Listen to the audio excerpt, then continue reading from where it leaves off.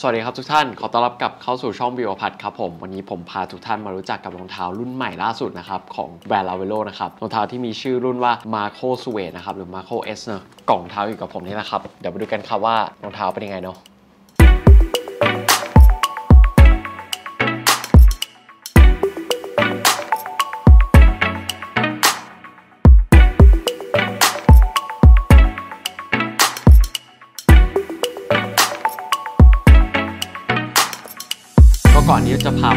รองเท้าครับ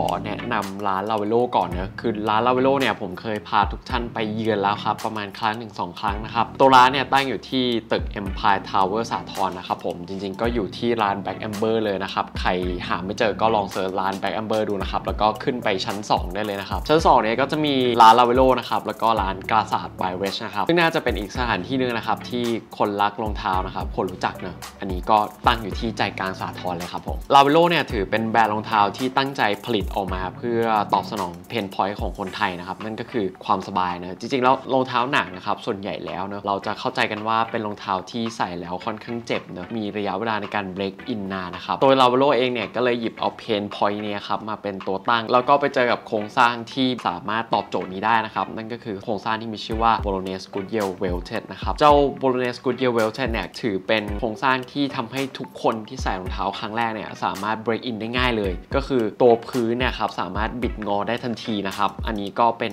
คุณสมบัติหลักของ Bolognese Goodyear Welted นะครับ ซึ่งถือว่าเป็นการตอบโจทย์เพนพอยที่ค่อนข้างแข็งแรงมากๆนะครับ ผมเชื่อว่าใครก็ตามที่ได้ไปลองรองเท้าที่ร้าน l a v e l o เนี่ย ผมเชื่อว่าน่าจะชอบแน่นอน เพราะว่าตัววัสดุเองก็ผลิตมาค่อนข้างดีนะครับ แล้วก็นำเข้าจากต่างประเทศเช่นเดียวกันนะครับ ตัวโรงงานที่ผลิตเนี่ยเป็นโรงงานที่ผลิตอยู่ในเวียดนามนะครับผม ซึ่งถือว่าเป็นโรงงานที่ผลิตให้หลาย ๆ แบรนด์ที่เรารู้จักกันอยู่แล้ว รวมถึงแบรนด์ที่อยู่ในประเทศญี่ปุ่นด้วยนะครับ l a v e l o Shoemaker เนี่ยถือเป็นแบรนด์ของคนไทย 100%เนอะซึ่งหาได้ยากมากๆครับที่จะมีแบรนด์คนไทยคนไหนสักคนหนึ่งที่คิดอย่างรอบคอบเลยแล้วก็ตอบโจทย์ pain point ที่สำคัญได้นะสำหรับ l a v e l o เนี่ยก็มีความซิมเ l ิลสูงมากๆในการออกแบบรองเท้านะตอนนี้ในร้านรองเท้าเองเนี่ยก็มีด้วยกันแค่ 3 ทรงครับ ก็มีโลเฟอร์มีออกฟอร์ดแล้วก็มี split toe derby นะครับสามทรงเนี้ยถือเป็นcore หลัก ของการใส่รองเท้าของผู้ชายไทยส่วนใหญ่เลยครับโลเฟอร์เองก็จะมีด้วยกัน 2 แบบครับ ก็คือ penny loafer แล้วก็ tassel loafer เนาะส่วน Oxford cap toe เนี่ยมีแบบเดียว แล้วก็ split toe derby เนี่ยก็มีแบบเดียวเช่นเดียวกันนะครับ ซึ่ง split toe derby เนี่ยก็จะมีรายละเอียดอย่างแบบ skin stitch แล้วก็ pie crust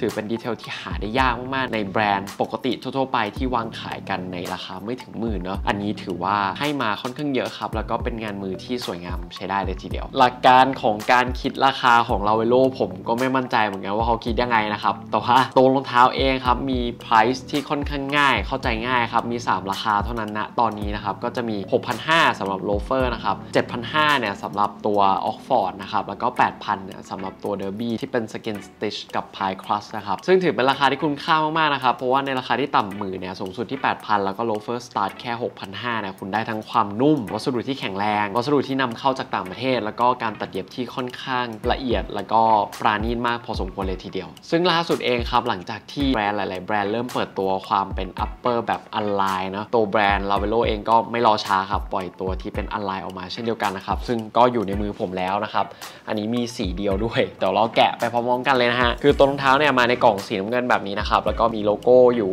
ข้างหน้าแบบนี้สีทองนะครับเดี๋ยวมาเปิดพร้อม ๆ กันครับอันนี้เปิดฝา อย่างแรกเลยที่เราได้มาก็คือ shoe bag แบบนี้ครับ สีดำเนอะแล้วก็มีโลโก้ สีทองอยู่แปะตรงกลางแบบนี้นะครับลาเวโลเช่นเดียวกันนะครับ อันนี้ก็เป็น standard ให้มาเป็นสีดำแบบนี้นะครับ ตัวรองเท้าก็จะอยู่ด้านในของตัวกล่องแบบนี้เลยครับ อันนี้คือตัวรองเท้า ค่อนข้างสีอมน้ำตาลเทานิดๆนะครับ ก็มีความน่าสนใจในตัวสีค่อนข้างสูงครับ เราเริ่มต้นกันก่อนเลยก็คือ ตัวรองเท้าพอหยิบจับขึ้นมาแล้วเนี่ยแน่นอนว่าด้วยความที่มันเป็น unlined ครับณจุดนี้มันจะค่อนข้างนิ่มมากๆเนาะอันนี้ก็เป็นตัวเริ่มต้นที่สำคัญมากๆครับสำหรับตัวรองเท้าแล้วเนี่ยก็มีความนิ่มที่ค่อนข้างมากอยู่แล้ว เพราะว่า ตัวรองเท้าเองตัดเย็บตัววิธีการแบบ Bolognese Goodyear welt นะครับ ก็มีการบิดงอได้ง่ายโอ้โหแทบอันนี้ก็แทบจะออกแรงน้อยมาก ๆ เลยเนาะโหเฮ้ย มาเริ่มที่ตัว upper ก่อนครับ upper ครับ เป็น upper ที่นำเข้าจากโรงฟอกในอิตาลีครับ ชื่อมาสโตโตนะครับ ซึ่งถือเป็นโรงงานฟอกในอิตาลีที่ฟอกสเวตได้ค่อนข้างสวยนะครับ มีหลากหลายสีให้เลือกนะครับ ซึ่งทางแบรนด์เนี่ยเลือกออกมาเป็นสีน้ำตาลตุ่นๆ อมเทาๆ นิดนึงนะครับ ซึ่งถือว่าเป็นสีที่ใส่ง่ายแล้วใส่สนุกเหมือนกันนะครับ สามารถใส่ได้ทั้งกางเกงสีเทาเข้ม กางเกงน้ำเงิน อันนี้ก็ใส่ได้เช่นเดียวกัน ถือว่าเป็นสีที่ casual ใช้ได้เลยครับ ต่อมาครับก็คือดีเทลอย่างหนึ่งที่ตัวนี้ไม่มีเส้นรอบๆที่เย็บแบบ 360 องศารอบๆ ตัวรองเท้าครับอันนี้จะหายไปเนี่ยเพราะว่าตัวรองเท้าเนี่ยต้องการให้ด้านในเป็นแบบอันไลน์คือถ้าเกิดมีการรอยเชือกเข้าไปเนี่ยจำเป็นที่จะต้องมีตัว lining อยู่ด้านในตรงนี้อีกชั้นหนึ่งนะครับ เป็นการเย็บเก็บขอบอย่างเดียวเนาะซึ่งถือว่าแบบน่าสนใจมากๆ เพราะว่ามันดูดิ มันนิ่มแบบมันนิ่มแบบไม่เหลืออะไรเลยครับ โอ้โห แต่แน่นอนว่าตัวรองเท้าเองจำเป็นต้องมีไลนิ่งเนอะในจุดที่สำคัญสำคัญนะครับ ไม่ว่าจะเป็นแบบช่วงคิวคับตรงนี้นะครับ เพื่อล็อกส้นเท้านะครับ รวมไปถึงด้านหน้าตรงนี้ครับ ที่มีป้ายชื่ออยู่นะครับ ที่เป็น Marco ตรงนี้นะครับ ยาวไปถึงแค่จุดที่เป็นรอยเชือกตรงนี้ครับ ที่เป็น decorate ของ tassel เนาะส่วนด้านหน้าตรงนี้มี puff ที่เป็นพลาสติกครับเป็นตัวหุ้ม toe puff ช่วงนี้นะครับซึ่งถือว่าโอเค อาจจะมี lining อยู่บ้าง แต่ว่าถือว่าน้อยมากๆเลยทีเดียวอย่างที่ผมแจ้งไหมครับว่าผลิตโดยใช้โครงสร้างางแบบโบโลเนสกูดเยเวลเทสนะครับ อันนี้ก็จะมีเขียนบอกนะครับว่าเป็น Bolognese Goodyear welted แบบ Special Edition ด้วยนะครับข้อดีของมันก็คือมันสามารถบิดงอได้ง่ายนะครับ นอกเหนือจากนั้นแล้วยังเป็น Close Channel ด้วยนะครับ เป็นการตัดเย็บแบบ Close Channel เนาะไม่เห็นรอยการเย็บนะครับ เป็นอีกหนึ่ง step ที่เพิ่มเข้ามา เพราะว่าจำเป็นที่ต้องปาดเอาหนังขึ้น แล้วก็เย็บแล้วค่อยเอาหนังปิดกลับเข้าไปนะครับ ให้เหมือนเดิมรายละเอียดค่อนข้างดี เพราะว่าเราแทบจะไม่เห็นรอยที่แบบเกิดการปาดเลยนะครับตัวรองเท้าเองยังมี bevel vest นิดๆเห็นไหมครับช่วงเอวรองเท้าเนี่ยก็จะมีการนูนโผล่ขึ้นมาเล็กน้อยนะครับเป็นช่วงเคิร์ฟนิดนึงนะครับถือเป็น hand skill อย่างหนึ่งของช่างทำรองเท้านะครับ ไม่ค่อยได้เห็นกันอยู่บ่อยๆ ครั้งในในบ้านเราล้วกันเนอะนอกเหนือจากนั้นแล้วยังมีdetail ที่ผมค่อนข้างชอบเองแล้วกันเนอะนั่นก็คือโลเฟอร์ส่วนใหญ่ครับ มักจะเป็นโลเฟอร์ที่ค่อนข้างหน้าเชิด อันนี้ครับเป็นโลเฟอร์ที่ค่อนข้างหน้าตัดตรงเนอะมันจะค่อนข้างเรียบไปกับพื้นค่อนข้างสวยงาม อันนี้ถือว่า ออกแบบมาได้ค่อนข้างดีมากๆเลยครับ ตัวทรงรองเท้าทั้งหมดครับ ดูเป็น round toe นะ อันนี้ก็คลาสสิกดีครับ แล้วก็สามารถใส่ได้งานแน่นอน แน่นอนครับว่าทั้งหมดทั้งมวลแบบนี้ต้องใส่สบายแน่นอน ดูจาก upper ได้ครับ อันนี้คือแบบคือมันนุ่มมากๆนะ ตัวรองเท้าเองยังไม่มี insole ด้านในเนอะที่แบบว่าถอดออกได้ แล้วก็ใส่ memory foam หนาๆเข้าไปแทนที่นะครับ ตัวนี้เนี่ยจะมีการเสริม memory foam ในชั้นด้านในนะครับ คือตัวชั้นระหว่าง outsole กับตัวชั้น insole นะครับ จะมีความนิ่มอยู่บ้างนะครับ รวมไปถึงส้นเท้า อันนี้ก็ใส่มาเป็นโฟมปกติอยู่แล้วนะครับในทุกๆแบรนด์เนอะพอเราลองสวมดูครับผมมั่นใจว่าต้องชื่นชอบมันแน่ๆ เพราะมันสบายแน่นอนครับ แถมทรงก็สวยด้วย มีครบทุกอย่างแล้วก็มาในราคา 6,500 บาท ถือว่าน่าสนใจมากๆทีเดียว โดยรวมครับถือว่าเป็นรองเท้าที่สวยงามดูดี แล้วก็ราคาดี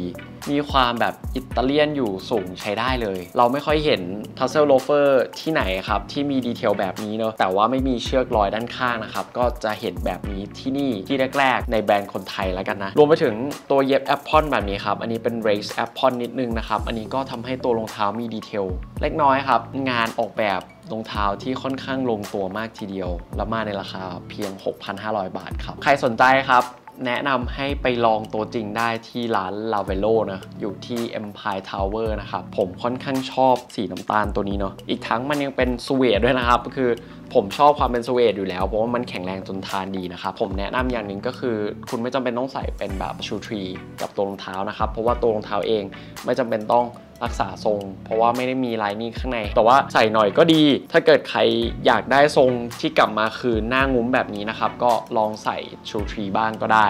ไม่ใส่ก็ได้อันนี้แล้วแต่เลยครับ ถือเป็นรองเท้าที่เอาไว้ใช้แบบสมบุกสมบันใช้ได้ประจำใส่ได้ทุกวัน ก็จบไปแล้วครับ สำหรับรองเท้า Marco S ซึ่งถือเป็นรุ่นใหม่ล่าสุดของแบรนด์ l a v e l o Shoemaker นะครับ ใครสนใจก็ไปลองดูได้เนาะลาไปก่อนครับ พบกันใหม่คลิปหน้า ฝากกด subscribe ครับ แล้วก็